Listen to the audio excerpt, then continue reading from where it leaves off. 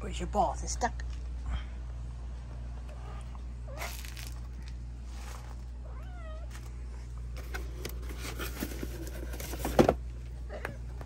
There it is.